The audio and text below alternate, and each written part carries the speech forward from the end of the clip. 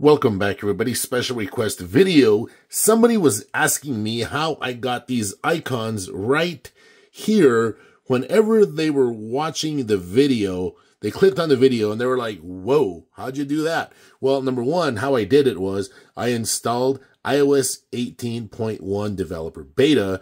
And well, as you all know, we're in the beta 2 now, but that's simply how I did it. So I went over into settings, general, updates and I I opted into the developer beta. Then I go into the waiting list for Apple Intelligence, so on and so forth.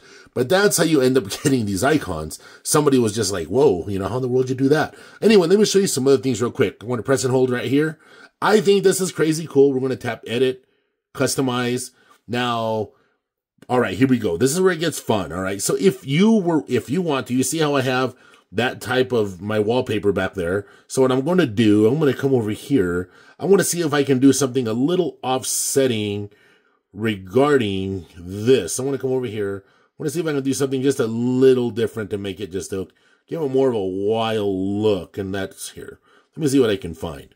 All right, we'll come over here. We'll do that. So I've got that going on right there, and I really appreciate the comment that that the that uh, the individual left. He was like, "Wow, that's amazing." I like seeing the excitement like that. All right, and if you want to get rid of that, say you don't want to roll like that, come over here. Say you want to just correct it, then just tap somewhere like that, and it'll just take you back to that. Now, I've mentioned this before.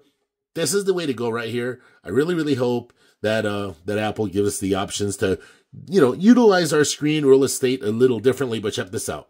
This is kind of cool here. Well, not really. I thought maybe we'd have the option to actually uh, customize our uh, our screens a little bit, our home screens, but no. So apparently it's still doing the whole sliding around, unless there's something I don't know about, which I doubt because I have dove into this developer beta pretty hard. So apparently Apple is still not letting us put the icons exactly where we want them.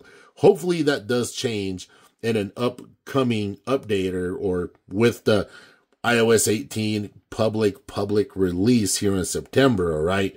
Another thing you can do. Yes, you got the automatic. Just put it right back.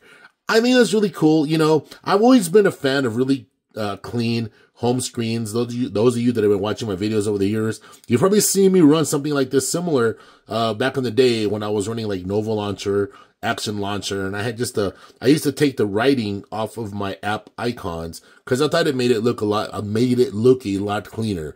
But the whole point of this video is, if you want your if you want your uh your icons to look the way mine did like whenever the video first started you need to develop you need to install you need to opt in to the iOS 18.1 developer beta and go ahead and do that. And I do recommend you do it because it's it's a stable it's a stable beta. It's not a big deal, all right?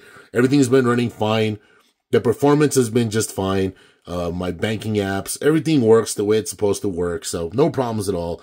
I would recommend that people install this and just start enjoying all of these brand new customizations. All right.